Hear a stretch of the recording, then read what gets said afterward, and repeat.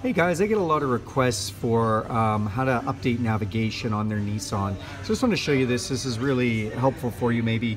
Um, you go to Nissan's website, nissan.ca. Uh, when you get into this, you'll see some tabs at the top and one of those tabs is owners.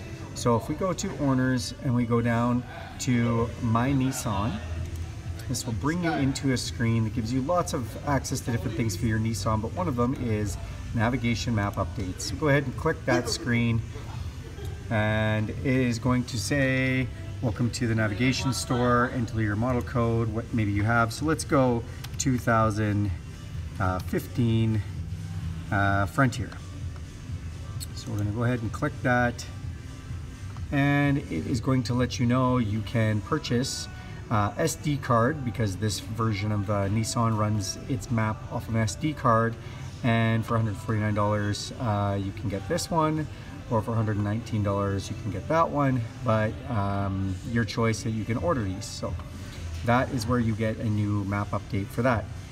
If you don't have a map card um, there are other ways to do this because some of them just have a download. Um, so we could go 2019 if you had a newer vehicle, say an Altima for instance, and then it'll bring you to this screen and then you just click here to purchase your map update. It'll ask you what kind of vehicle you have and what you're talking about. Um, so let's, let's, for the purposes of this one, just go to an Armada. Uh, and then let's go, say you had a 2018 Armada. And now you are going to be able to update this with this SD card um, you know, and it'll give you different prices and different options for that, whether it's United States, Canada, or Mexico.